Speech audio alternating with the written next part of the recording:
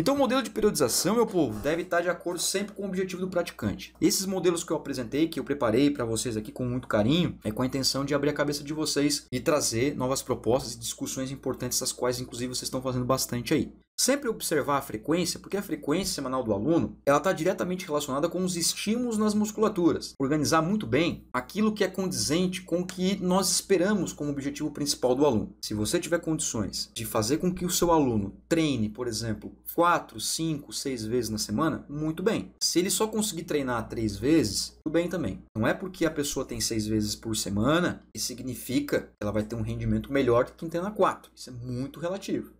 Muito, porque seis vezes eu tenho, claro, mais estímulos, então eu tenho que dosar melhor o exercício, eu tenho que fragmentar melhor, eu tenho que cuidar um pouco mais com exercícios que estimulam falha, tenho que organizar muito bem isso, usar estrategicamente. Então, bastante atenção com isso, não é porque seis vezes ah, é melhor que três. Calma, o rendimento de uma pessoa com três vezes por semana pode ser muito bom também. Por isso que a periodização é importante, porque justamente você consegue fazer esses pequenos ajustes. Prática agora, tá? Inclusive, esse modelo aqui, ele é um modelo real. Como que vamos amarrar tudo que a gente aprendeu aqui? Tudo, desde o comecinho, tudo. Agora vamos ver na prática mesmo. Uma periodização minha mesmo. Uma pessoa que treina, pode treinar seis vezes por semana tem essa disponibilidade. Então vamos lá, com raciocínio com muita calminha, tá? Para você entender que periodização dá de botar na prática e muito bem botar. Então vamos lá. Semana 1, segunda, terça, quarta folga, quinta, sexta, sábado folga. Não me interessa se a pessoa pode treinar seis vezes. Eu periodizei, ó, você vai vir quatro vezes. Como que vai funcionar? São três séries de 10 a 12. 12 séries para cada agrupamento muscular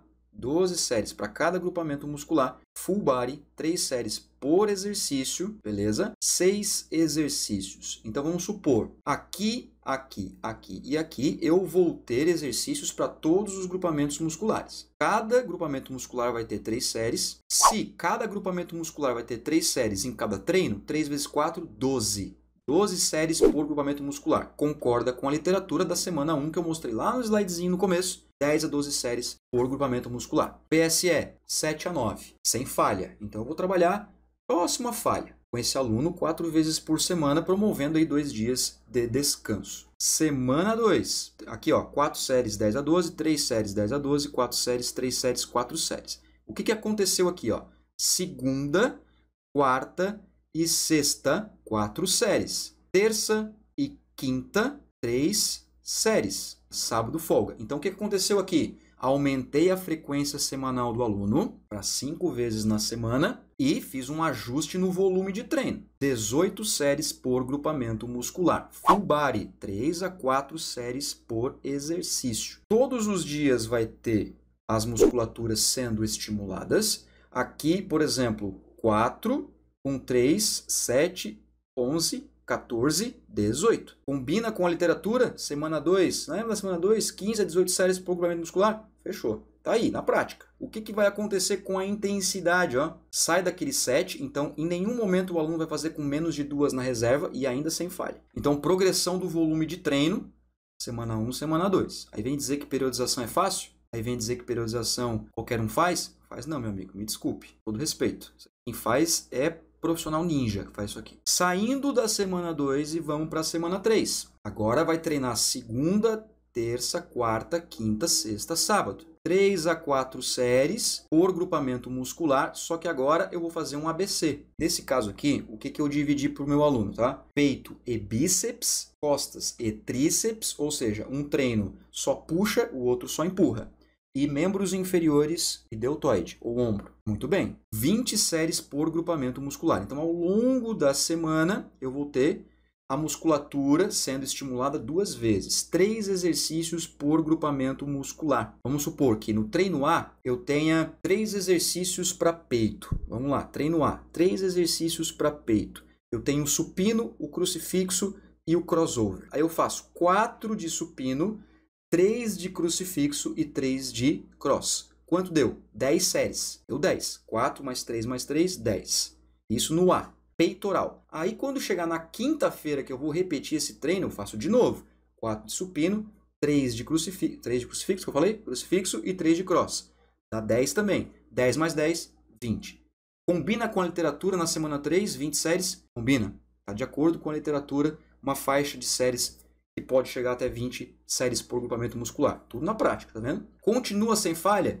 Continua sem falha. Segura um pouco agora aqui a intensidade, porque ele vai aumentar a frequência, veio de 5 vezes para 6 vezes.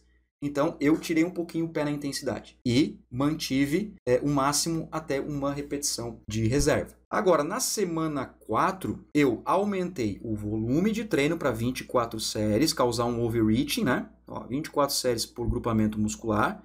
ABC, 3 a 4 séries por exercício, 3 a 4 exercícios por grupamento muscular. Então aqui eu aumentei a possibilidade de ter exercícios para aumentar o volume de treino. E agora aqui eu vou trabalhar alguns com falha. Vou pegar um drop set com falha, vou pegar um rest pause, um cluster set, vou pegar algum método que seja um pouco mais voltado para essa premissa de falha, escolher exercícios muito bem selecionados para poder estimular esse meu aluno de forma correta. Aí entrou nessa parte 24 séries por grupamento muscular. Então, observe que o volume está aumentando, eu estou conseguindo fazer esse ajuste aí nas estimulações dos grupamentos musculares. Na semana 5, olha na semana 5, eu cheguei para o meu aluno e disse o seguinte, ó, semana 5 você vai vir só três vezes por semana, só três dias na semana, segunda, quarta, sexta, terça, quinta sábado você vai descansar. Quando você treinar, você vai fazer 10 séries por grupamento muscular um full body, 3 a 4 séries por exercício, 3 exercícios por grupamento muscular. E sem falha, regenerativo. Mas lembra que na semana 4 foi uma, pala, uma pauladinha, né? Semana 4 foi uma pauladinha. Semana 4 teve falha. Então, galera, quando chegar nessa semana aqui, ó, ele vai estar tá super compensando da semana 4. Aí que é bom fazer teste. Ele veio de 24 séries, foi para 10, agora eu vou aumentar um pouquinho o volume, beleza? Para aproveitar a supercompensação. Aumentei a frequência semanal comparado à regeneração e mantive a qualidade do exercício também. Um volume é bem tranquilo, 12 a 14, só que eu quero ainda alguns na falha. Eu quero aproveitar aquela supercompensação. Se você pensar pela linha de raciocínio fisiológica da supercompensação, aqui ele vai estar com um pico de potência. É a hora de falhar é a hora de falhar o, o indivíduo. Essa é a hora. Essa é a hora. E falhar bem, com 12, com 13 repetições. Consistência de contração. Só que o volume executado por grupamento muscular é tranquilo, é 15. Então você joga, você manipula com a intensidade e com o volume, cara. Isso é periodização. Isso é periodização. Sem contar que aqui dentro tem os métodos de treino. Sem contar que aqui dentro tem a velocidade da ação muscular, tem a complexidade do exercício, tem uma série de coisas. E na semana 7 na semana 8, que são as duas semanas finais né, da proposta, ó, 18 séries por grupamento muscular.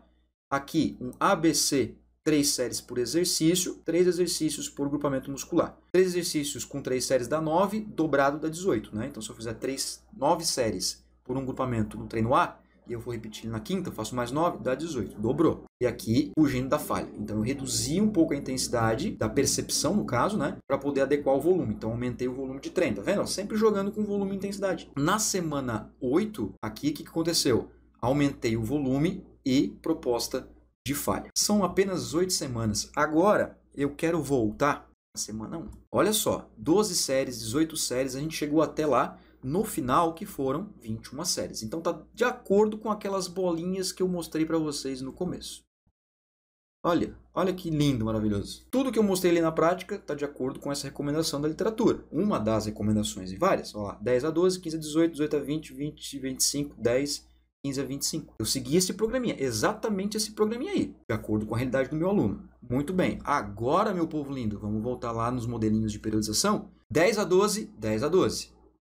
3 e 4, 8 a 10. 8 a 10. Então eu aumentei a intensidade, reduzi o volume em repetições intensidade. Então eu mantive linear até aqui, perfeito? Regenerou. Aí entrou semana 6, 12 e 14. E depois na 7 e na 8, o que, que eu fiz? Piramidal. Que tipo de modelo de periodização é essa? Combinada, porque eu combinei linear com piramidal nas duas últimas semanas. Para não finalizar, para não finalizar, existem diversas estratégias para otimizar os resultados do seu aluno, promover longevidade de prática, manter seu aluno sempre motivado, desafiado, né? Sempre mantendo sempre aquela aquele sangue nos olhos que a gente fala na gíria, né? Sempre manter motivado, com fome de treinar. Isso é muito importante. Quanto mais motivada a pessoa estiver, mais interessante é, né? Não, mas não confunde motivação com loucura, tá? Motivado no sentido realmente de se desafiar e sempre procurar ser uma pessoa melhor. E nós, como profissionais de saúde, é, como profissional de saúde, a gente tem que promover saúde.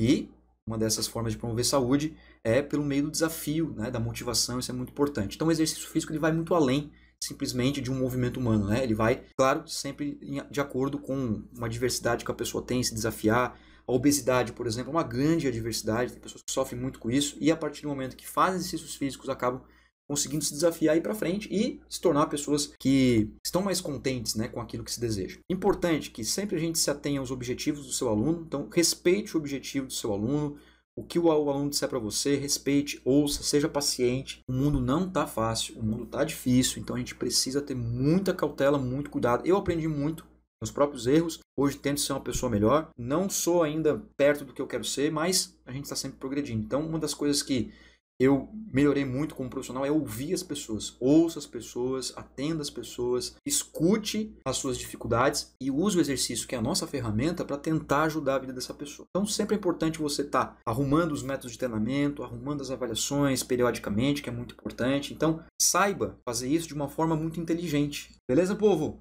Pessoal, fui, tá? Um grande abraço. Fiquem bem.